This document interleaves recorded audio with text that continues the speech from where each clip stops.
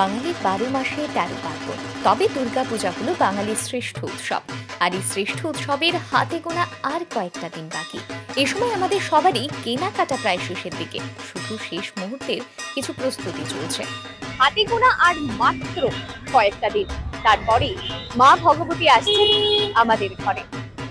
অনেকটা প্রাকৃতিক দুর্যোগ কাটিয়ে মানুষ উৎসবে সামিল হওয়ার দোরগোড়ায়। তাই পুজোর বাজারে লেগেছে কেনাকাটার ধুম প্রাকৃতিক দুর্যোগকে উপেক্ষা করেও মানুষ কিন্তু চাইছেন মা ভগবতীকে ঘরে নিয়ে আসার জন্য। তার ফলে পুজোর কেনাকাটার এই ভিড়ে কতটা লাভ হলো আর কতটা লোকসান? মানুষ কতটা খুশি? এবছর পুজোর বাজারে নতুনত্ব কি রয়েছে? তা নিয়েই আজকের এই আরই নিউজের প্রতিবেদন। সঙ্গে রয়েছে আমি শ্বেতা সম্প্রতি ভয়াবহ বন্যার জেরে বেশ ক্ষতির সম্মুখীন হয়েছে রাজ্য তবে বন্যার রেশ কাটিয়ে উমার আগমনের প্রস্তুতিতে মেতে উঠেছেন মানুষ। বাজারে ক্রেতাদের ভিড় যেন তাই বলছে। এবারে দেখে নেওয়া যাক পুজোর এই শেষ মুহূর্তের ক্রয় বিক্রয় নিয়ে কি বলছেন ক্রেতা এবং বিক্রেতারা। আমরা রয়েছি রাজধানীর প্রাণ কেন্দ্র হকার্স কর্নারে। আর দেখতেই পাচ্ছেন যে পেছনে নতুনত্ব জামার ভিড়। আর সেইখানে রয়েছে আমাদের যারা ক্রেতারা সেই সঙ্গে বিক্রেতারাও। চলুন কথা বলে নিই তাদের সঙ্গে। কেমন চলছে কেনাকাটা? কেনাকাটা খুব ভালোই কিন্তু বৃষ্টিতে আমাদের একটু সমস্যা হয়েছে সকালবেলাটা। মানে অর্ধেক বেলাটা আমরা দিয়ে দিয়ে কাটে বিকাল নাগাদ অনেকটা কাস্টমার ভিড় জামে অনেক কাস্টমার আছে। পুজোর আর মাত্র কয়েকটা দিন কতটা আশা করছেন আপনারা? না পুজো ভালো যাবে খুব ভালো যাবে। বাজারও ভালো ব্যবসা বাণিজ্য খুব ভালো চলছে আমাদের। তার মানে বলছেন প্রাকৃতিক দুর্যোগ সেরকম ভাবে কোনো ভাবে এফেক্টেড অনেকটা এফেক্টেড প্রথম দিকে মাস কাবারে প্রথম দিকে কাস্টমার একদমই ছিল না কিন্তু মাস কাবার এখন মোটামুটি বাজার এখন ভালোই আছে। ক্ষয়ক্ষতি মানে আমাদের যেরকম আশা ছিল যেমন চল্লিশ দিনের একটা বিজনেস বা তিরিশ দিনের টার্গেট থাকে আমাদের ওই টার্গেটটা হয়নি বা দশ বারো দিনের টার্গেট যা হবে হবে। তার মানে বুঝতেই পাচ্ছেন মাত্র কয়েকটা দিন বাকি তার আগে পুজোর বাজার কিন্তু বেশ জমে উঠেছে। ক্রেতা বিক্রেতা সবাই খুশি। কেমন চলছে? ভালো। প্রাকৃতিক দুর্যোগ উপেক্ষা করে কতটা মানুষ? খুব কমই আছে আজকের বেচা কেনা আচ্ছা বৃষ্টির জন্য এরকম হয়েছে নাহলে ভালো ছিল। কেমন লাগছে পুজোর বাজার?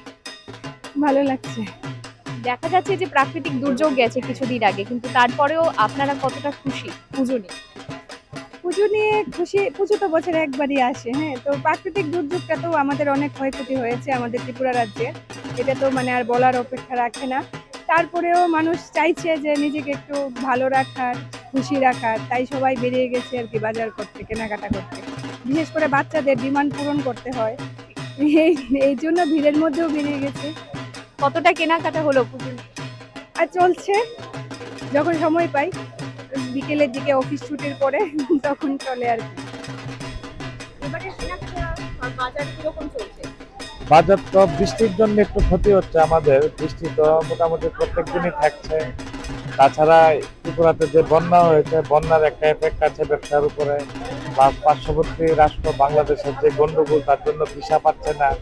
আমাদের যে হিন্দু ভাই বোনেরা যারা পুজো দেখতে আসবার কথা ভারতবর্ষে, তারা আসতে পারছেন না। এটারও একটা বাজারে এফেক্ট আছে। সব মিলিয়ে প্রায় মন্দার মধ্যেই চলছে। সেই রকম না মোটামুটি চলছে আর কি। পুজোর মাত্র কয়েকটা দিন বাকি তো কি মনে হচ্ছে এই কয়েকটা দিনে বাজার কতটা জমজমাট হবে? বাজার এই দু একদিন বিক্রি করে তার পুরো খাবার দেওয়া যায় না মোটামুটি চলবে আর কি এরকম। মানে মা দুর্গা যদি আমাদের কৃপা না করে আমরা কি করব?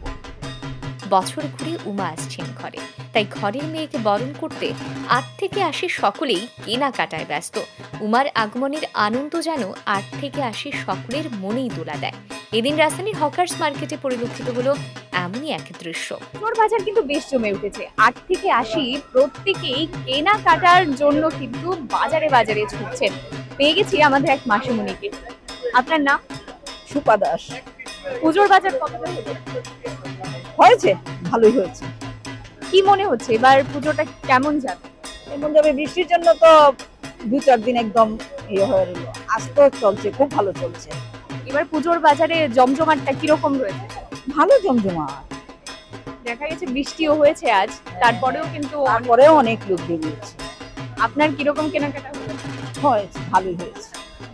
প্রাণকেন্দ্র হকার্স মার্কেটের বা হকার্স কর্নারের যে ছবি আপনারা দেখছেন সেখানে কিন্তু দেখা যাচ্ছে যে জমজমাট পুজোর বাজার।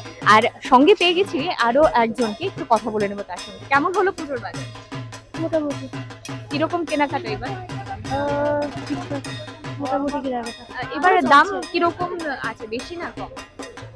প্রাইস তো হাই প্রাইস হাই তো প্রাকৃতিক দুর্যোগ একটা গেছে। তো এবার পুজোটা কীরকম কাটবে বলে মনে হচ্ছে? এতটা ভালো না।